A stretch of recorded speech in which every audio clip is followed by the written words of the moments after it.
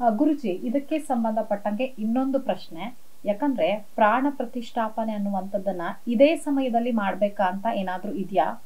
ಅಂದ್ರೆ ಜ್ಯೋತಿಷ್ಯದಲ್ಲಿ ಉಲ್ಲೇಖ ಇದೆಯಾ? ಯಾಕಂದ್ರೆ ಇನ್ನೂ ಕೂಡ ರಾಮ ಮಂದಿರದ ನಿರ್ಮಾಣ ನಡೀತಾನೆ ಇದೆ. ಸೊ ಇನ್ನೂ ಕೂಡ ಮುಗ್ದಿಲ್ಲ. ಈ ಹಂತದಲ್ಲಿಯೇ ಪ್ರಾಣ ಪ್ರತಿಷ್ಠಾಪನೆಯನ್ನ ಮಾಡ್ತಾ ಇರೋದು ಸರಿಯಾಗಿದ್ಯಾ ಹೇಗೆ? ಹಾ ಹೌದು. ಇದಕ್ಕೆ ಪರಮತ ವಿರೋಧ ಎರಡು ರೀತಿಯಾಗಿರುವಂತಹ ಒಂದು ಚರ್ಚೆ ಅನ್ನುವಂಥದ್ದು ನಡೀತಾ ಇದೆ. ಎಷ್ಟೋ ಜಾಲತಾಣಗಳಲ್ಲಿ ನಾನು ನೋಡಿದ್ದೇನೆ. ಕೆಲವರು ರಾಮ ಮಂದಿರ ಪೂರ್ತಿ ಆಗಿಲ್ಲ ಈಗ ಪ್ರತಿಷ್ಠೆ ಮಾಡೋದು ಬೇಕಾಗಿತ್ತಾ? ಇದು ಯಾವುದೋ ಒಂದು ಪಕ್ಷಕ್ಕೆ ಅವರ ಹಿತಾಸಕ್ತಿಯಿಂದ ಮಾಡ್ತಿರುವಂಥದ್ದು ಅಂತ ಹೇಳಿರುವಂಥದ್ದು ಒಂದಷ್ಟು ಜನ. ಇನ್ನು ಕೆಲವರು ಮತ್ತೆ ಇವಾಗಲೇ ಏನೇ ಮಾಡುವಂತಹ ಒಂದು ಆತರ ಇತ್ತು ನಂತರ ಮಾಡ್ಬೋದಾಗಿತ್ತಲ್ಲ ಅಂತ ಹೇಳ್ತಿರುವಂಥದ್ದು ಒಂದು. ಇದನ್ನೆಲ್ಲ ಪಕ್ಕಕ್ಕೆ ಇಟ್ಬೇಡ ರಾಜಕೀಯಕ್ಕಲ್ಲದೆ ನಾನು ಒಂದು ತಾರ್ಕಿಕವಾಗಿರುವಂತಹ ಒಂದು ವಿಚಾರವನ್ನ ಹೇಳ್ತೇನೆ. ಮಲ್ಲೇಶ್ವರಂ ಅಲ್ಲಿ ಭೂಮಿಯನ್ನ ಅಗಿಬೇಕಾದ್ರೆ. ಒಂದು ದೇವಸ್ಥಾನ ಸಿಗತ್ತೆ. ನಂದಿ ತೀರ್ಥ ಅಂತ. ನಮ್ಗೆಲ್ಲ ಗೊತ್ತಿರುವಂತದ್ದು ಬೆಂಗಳೂರಲ್ಲಿ. ಸಿಕ್ಕಿದಾಗ ಆ ಲಿಂಗ ಸಿಗತ್ತೆ. ಆ ಲಿಂಗ ಸಿಕ್ಕದ ಮೇಲೆ ಆ ಭೂಮಿಯಲ್ಲಿ ಲಿಂಗ ನಂದಿ ಎಲ್ಲ ಸಿಕ್ಕದ ಮೇಲೆ ಈಗ ಅಲ್ಲಿ ದೇವಸ್ಥಾನ ಇಲ್ಲ. ದೇವಸ್ಥಾನ ಇಲ್ಲ. ಆ ಮೂರ್ತಿ ಹಾಗೆ ಇದೆ. ಇವಾಗ ಏನ್ ಮಾಡುವಂತದ್ದು ದೇವರ ಆಲ್ರೆಡಿ ಇದೆ. ಆದ್ರೆ ದೇವಸ್ಥಾನ ಇಲ್ಲ. ಅವಾಗ ಏನ್ ಮಾಡಿದ್ರು? ದೇವಸ್ಥಾನವನ್ನು ನಂತರ ಕಟ್ಟಿದ್ರು. ಹಾಗೆ. ಯಾವುದೋ ಒಂದು ಊರಿನಲ್ಲಿ ಎಷ್ಟೋ ದೇವಸ್ಥಾನಗಳ ಇತಿಹಾಸ ನೋಡಿ ದೇವರು ಇಲ್ಲಿ ಒಡಮೂಡಿದ್ದು ದೇವರು ಇಲ್ಲಿ ಯಾರಿಗೂ ಕನಸಿನಲ್ಲಿ ಪ್ರತ್ಯಕ್ಷರಾಗಿದ್ದು ದೇವರು ಇಲ್ಲಿದ್ದಾನೆ ಅಂತ ಯಾರಿಗೋ ಕನಸಿನಲ್ಲಿ ಹೇಳಿದ್ದು ಅವ್ರು ಹೋಗಿ ನೋಡಿದ್ರೆ ಅಲ್ಲಿ ದೇವರ ಲಿಂಗ ಇತ್ತು ಅಥವಾ ಒಂದು ಮೂರ್ತಿ ಇತ್ತು ಅಂತ ಎಷ್ಟೋ ಇತಿಹಾಸವನ್ನ ನಾವು ನೋಡ್ತೇವೆ. ಇದು ಒಂದೇ ಅಲ್ಲ. ಹಾಗಾದ್ರೆ ಈ ದೇವರಿಗೆಲ್ಲ ಆಮೇಲೆ ತಾನೇ ದೇವಸ್ಥಾನ ಕಟ್ಟಿರೋದು? ಫಸ್ಟ್ ದೇವರ ಬಂದ ಮೇಲೆ ತಾನೇ ದೇವಸ್ಥಾನ ಕಟ್ಟಿರೋದು?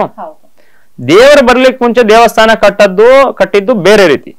ಎಷ್ಟೊಂದು ಸ್ವಯಂ ವ್ಯಕ್ತ ಆಗಿರುವಂತಹ ಕ್ಷೇತ್ರದಲ್ಲೆಲ್ಲ ದೇವರನ್ನ, ದೇವರು ಇದ್ದಾದ ನಂತರದಲ್ಲಿ ಮೇಲ್ಗಡೆ ದೇವಸ್ಥಾನವನ್ನ ಕಟ್ಟಿರುವಂತದ್ದು ನೀವು ಕೇದಾರನಾಥ ಜ್ಯೋತಿರ್ಲಿಂಗ ನೋಡಿ, ಭೂಮಿಯಿಂದ ಲಿಂಗ ಇದೆ, ಅದರ ಮೇಲ್ಗಡೆ ಕಲ್ಲನ್ನ ಹಾಕಿ ಆಮೇಲೆ ದೇವಸ್ಥಾನವನ್ನ ಕಟ್ಟಿರೋದು. ಅಂದ್ರೆ ದೇವರ ಅಲ್ಲಿದ್ರೂ ಕೂಡ ದೇವಸ್ಥಾನವನ್ನ ಎಷ್ಟೊಂದು ಸಣ್ಣ ಪುಟ್ಟ ರೀತಿಯಲ್ಲಿ ಕಟ್ಕೊಳ್ಳಿಕ್ಕೆ ಅವಕಾಶ ಅನ್ನುವಂಥದ್ದು ಇದೆ.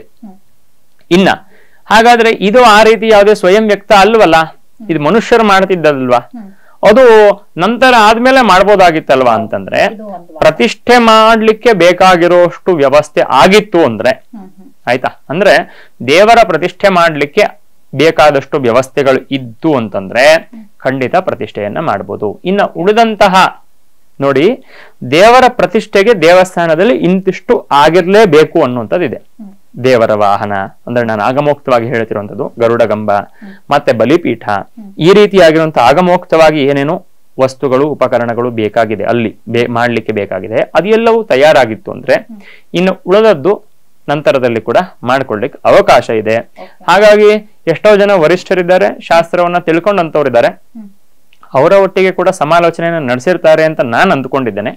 ಹಾಗಾಗಿ ಆ ಅಷ್ಟಕ್ಕೆ ಬೇಕಾಗಿರುವಂತಹ ವ್ಯವಸ್ಥೆಗಳು ಆಗಿದೆ ಅನ್ನುವಂಥದ್ದು ನನ್ನ ಒಂದು ನಿಲುವು. ಹಾಗಾಗಿ ದೇವರ ಪ್ರತಿಷ್ಠೆಯನ್ನ ಮಾಡ್ಬೋದಾಗಿದೆ. ಅದರಲ್ಲಿ ಏನು ಸಮಸ್ಯೆ ಏನಿಲ್ಲ. ಹಾಗಾಗಿ ದೇವರ ಪ್ರತಿಷ್ಠೆಯನ್ನ ಮಾಡಬೇಕು ಅಂತ ತೀರ್ಮಾನ ಮಾಡಿದ್ದಾರೆ.